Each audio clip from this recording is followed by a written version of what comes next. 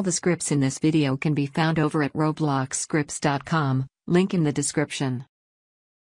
Like this video and subscribe for more daily scripts. What do everybody, it's your boy Roblox Scripts coming at you guys with another video and in today's video I'm going to be showing you how to download, install and execute scripts using Codex. So Codex is a very popular Android executor for Roblox. You've probably heard of this one already and in today's video I'm going to be showing you how to execute scripts using Codex on your PC. So let's not waste any more time. Click the link in the description below. It's going to take you over to robloxscripts.com. Once again, guys, this is the number one website for scripts, guides, news, and more. So bookmark this website if you haven't already. Check back every single day so you don't miss out.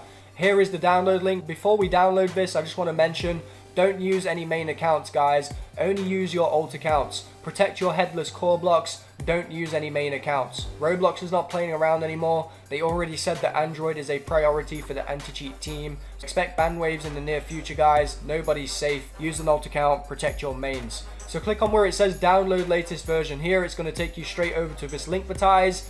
And I've already got Linkvertise Premium, but if you want to bypass this, then you can literally head over to Bypass City right here, put the link in and it should bypass it, but I'm, I've got Linkvertise Premium. Alright, so we've downloaded Codex. I'm going to drag this straight to the desktop. And next up, you guys are going to need an Android emulator. So I suggest that you guys use LD Player 9. LD Player 9 is my go-to Android emulator. It works well for me, works well on my device, worked well on every device I've tried it on. I had problems with BlueStacks, I had problems with Mumu. I mean, you can still try BlueStacks and Mumu if you want, but LD Player works best for me. So once you've installed LD Player 9, we can now install Codex. So let's launch LD Player 9. There is one thing I need to mention before we install Codex that is very important for if you want Roblox to run okay. So it doesn't matter if you've downloaded BlueStacks, Mumu or LD Player 9, head over to your settings and you should see the option to set how many CPU cores you have and how much RAM you have.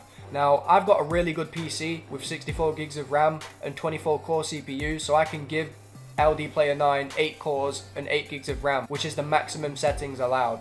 Now, you might be watching this video on a terrible PC, so you might have to downgrade this to 2 gigs of RAM and 2 cores. Just tweak this until you get stable FPS on Roblox, if you can get stable FPS. Not every person's PC will be able to maintain stable FPS on Android. You know, I've got a high-spec PC and I can say that it's very sluggish on Roblox. So yeah, once you've got the right settings enabled, we can now move on to installing Codex. Literally, guys, just drag the APK file into LD Player 9. It's that simple.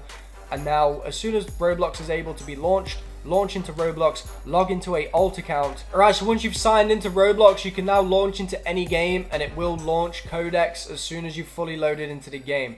So just to demonstrate how this works, I'm going to be demonstrating on a base plate. So we're going to join the base plate. Alright, so we've spawned in. We're about to get the Codex loading screen, so here we go.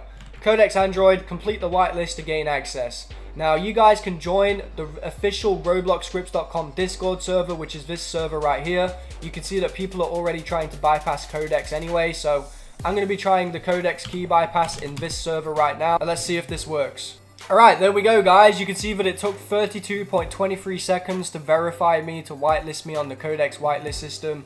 Now if I go back to LD Player 9, you can see that Codex has successfully loaded and we didn't have to go through any ad links, which is pretty cool. So this is Codex. Codex has auto execute. Codex has quite a lot of options. You can unlock FPS, you can play around with this, anti-AFK built in, and there's a built-in server hopper option.